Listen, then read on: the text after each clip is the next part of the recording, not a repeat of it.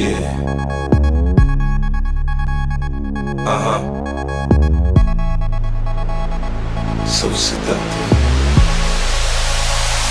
I'm the love doctor.